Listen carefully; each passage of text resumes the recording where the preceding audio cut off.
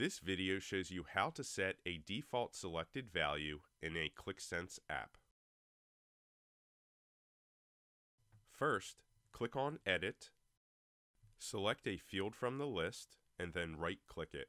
In the window that opens, select the Always One Selected Value checkbox and then click Save. The value appears as a tab in the top toolbar.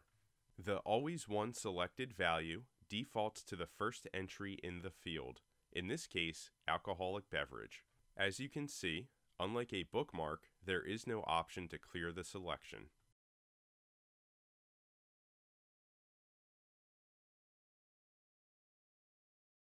When you duplicate an app, the always one selected value is duplicated with the app. When you open a sheet, the value has been applied by default to the duplicated app. It cannot be deleted. Also, when you publish the app, the value is applied to all sheets in the app.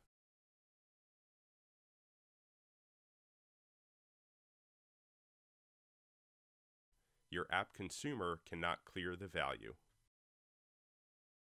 Now we come back to the original app in our workspace. We are going to remove the default value. Click Edit and search for the field you selected before, in this case, Product Group. Uncheck the Always One selected value and then save the changes. As you can see, you can now delete the value.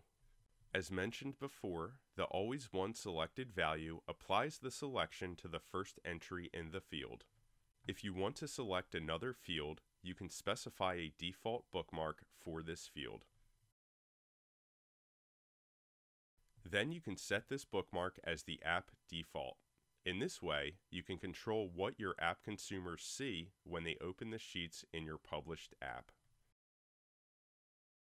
And that concludes this video. Thank you for watching.